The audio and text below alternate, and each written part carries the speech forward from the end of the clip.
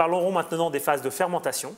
Nous allons donc pouvoir aller chercher les produits spécifiques dans ces icônes. Tout à l'heure, nous avons vu les phases de refroidissement, décongélation, surgélation sur la partie gastronomie. Là, nous pouvons aller soit sur le process boulanger ou pâtisserie, en cliquant dessus et en revenant sur l'écran d'accueil. Nous avons accès à un panneau de fermentation complet pour tous les produits boulanger-pâtissiers qui nécessitent des phases de fermentation. Prenons l'exemple du pain.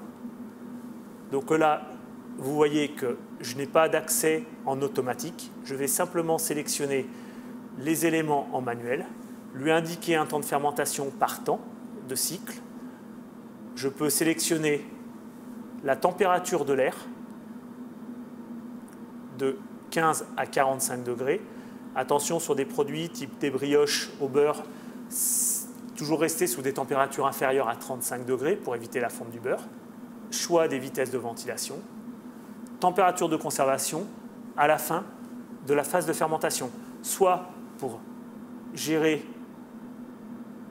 une, température de conservation positive ou négative pour une mise en, en congélation. À partir du moment où tous ces éléments sont requis, validés, et attendez et chargez.